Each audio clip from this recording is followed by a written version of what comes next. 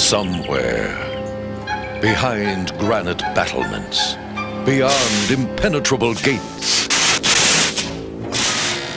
indoors, something evil is brewing. And it isn't Elsinore beer.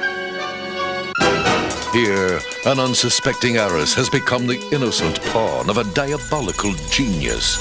At his command, space-age super lasers that can incinerate an entire metropolis. An army of deadly hockey warriors. At his fingertips, lots of beer. Just one more test, and then we are ready for the world. What fool dares stand in his way?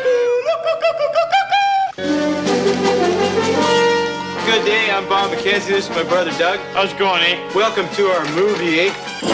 At last, television's Dave Thomas and Rick Moranis have just hit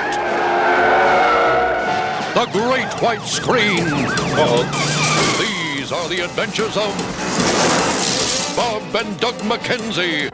Strange Brew. That's private company business. Perhaps one of these would refresh your memory, eh?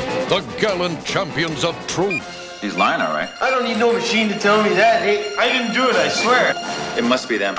Justice. I think it's time the little lady and I had a chat. And the pursuit of bad guys. We will move towards Oktoberfest as planned. I can't believe it. He drank it all. Oh, no! And I will not underestimate our little friends again. With Max von Shut up! Shut up! Shut up! Paul Dooley. You murdered him first. He was already dead when I killed him. Lynne Griffin. If I didn't have puke breath, I'd kiss you. And an all-star cast. Take off, you boy. you take off, you nut. Ah, okay. Don't miss the biggest, the grandest, the first McKenzie Brothers movie of all time. The Adventures of Bob and Doug McKenzie. I'd like to thank the Academy. That's it. We're leaving, kids. Come on. Strange Brew. You hoser, they wanted to see our movie. Now they're mad at us. Take off. It's only a preview, eh? I didn't want to show them the best part. Okay, so that's our topic for today.